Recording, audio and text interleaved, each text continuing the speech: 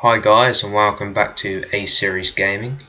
So today I'm going to be doing a verse between the KV1 and the Churchill one.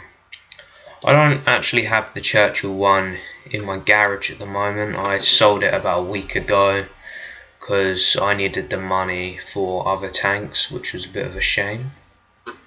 But I know all the stats so I'm just going to run through them.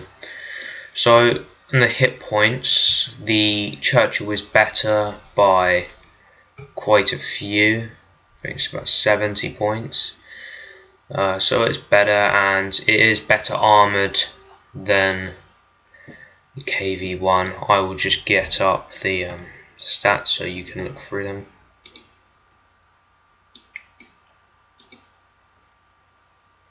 Uh, oh well, it doesn't work.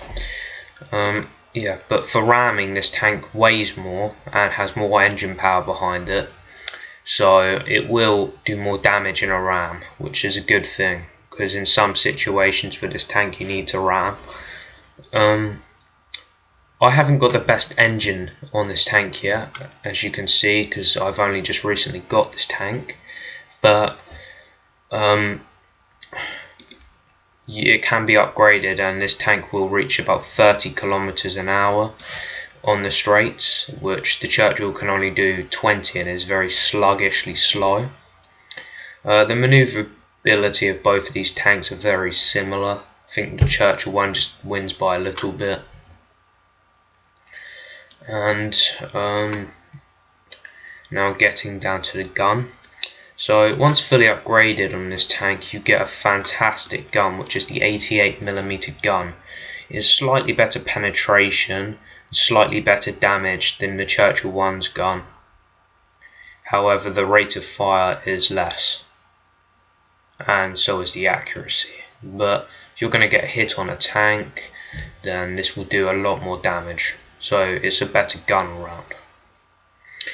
But if both of these tanks come into combat, the Churchill 1 and the KV 1, uh, they both fire at the same time, the Churchill 1 will win because it has more hit points than the KV 1.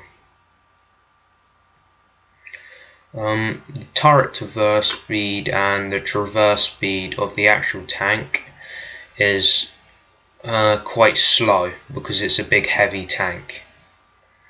So you don't really want to be heading straight into tanks and then letting tanks, light tanks especially, get behind you like the AMX, ELC, because they will just flank you and you will not be able to turn your turret around fast enough to kill them. So you want to be heading on, make sure you're angling this tank head on towards your enemies so they can't penetrate you as easily and they won't be able to get around your sides.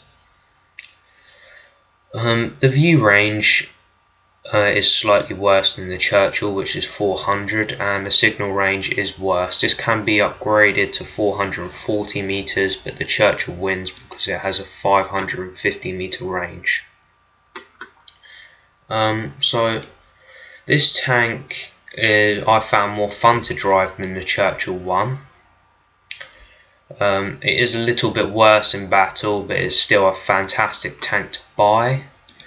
Um, how much? I think the um, the Churchill and the KV1. I think the KV1, yeah, the KV1 was a bit cheaper to buy than the Churchill one.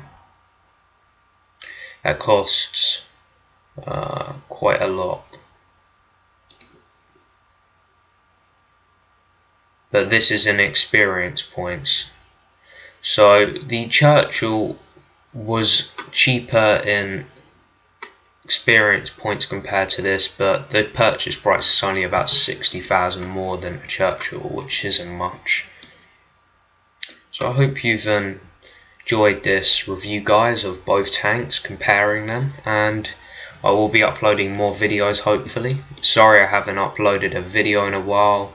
I did get bored of World of Tanks and I just didn't really want to upload. Please tell your friends about this channel as well because we haven't got many subscribers or views and we could really do with some more views. So thanks guys, hope you enjoyed this video and I'll see you in the next video.